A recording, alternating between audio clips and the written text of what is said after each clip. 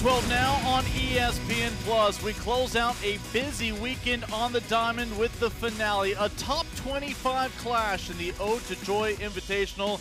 It's number 19 Baylor and number 25 Texas A&M meeting for a second straight day.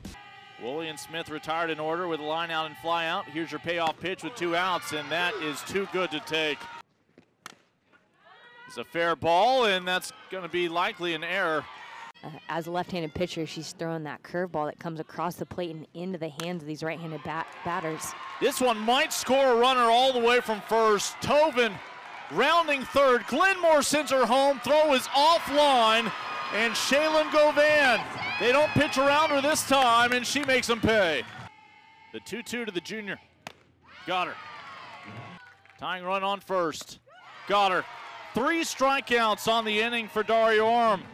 That'll strand an Aggie base runner. Down on strikes for a second time today. Orme has fanned five. Star Ferguson is your pinch runner, and Ferguson does not hesitate to go down, and she is out. Oh boy. I think that was entering the inning was 97. Got her. Two away. The 1 0 from Levitt. Pylon gets the bunt down. And there was not a great option for Wiggins. Winning run 60 feet away for Baylor. The payoff pitch. Up the middle, it gets through.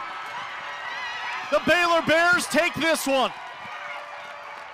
And walk off fashion. Amber Tovin brings home Taylor Strain. Ball game.